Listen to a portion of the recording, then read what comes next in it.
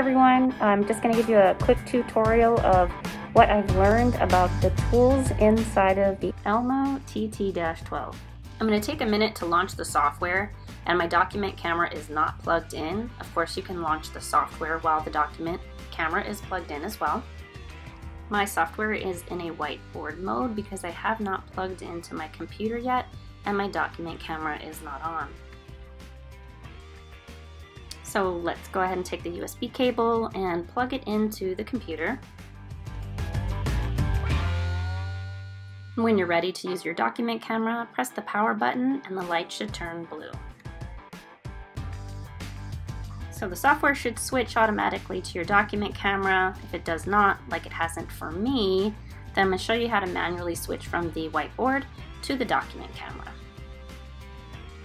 You want to locate the operation selection button. It's the button with the document camera and the computer and it looks like there is a switch. Notice on the outer edge of your tools you'll find a document camera button. When you click that it'll allow you to switch to your document camera.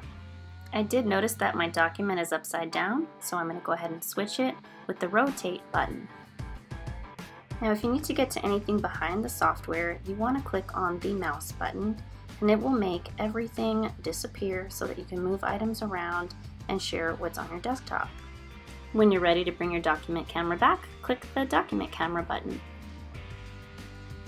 When you feel comfortable and you want to explore the other options, you can click on the computer with the pencil and use it to mark up while you're working on your computer, like online, to demonstrate or show your audience what they need to click on.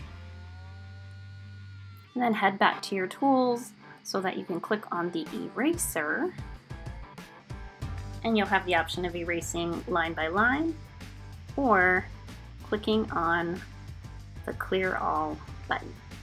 I hope those tips help you get started. Let me know if you have any other questions and I'll be happy to tinker as we get to know this new tool.